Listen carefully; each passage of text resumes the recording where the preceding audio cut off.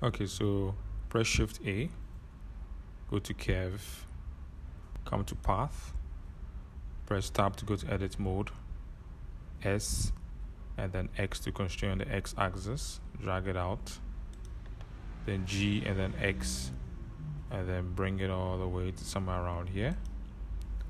Then come back to Object Mode, go to Object, go to Set Origin, go to origin to 3D cursor. Make sure the 3D cursor is there before you go to object and then set to um, 3D cursor.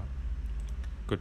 So now what you do is press Control A and then rotation and then Control A and then apply scale. So now you come in and you pick the braids,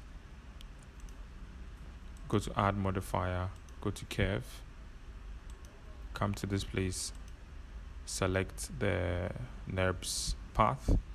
Once you select this go to edit mode and you pick it and it should respond. Yep it should respond. So that's it. Hope it was helpful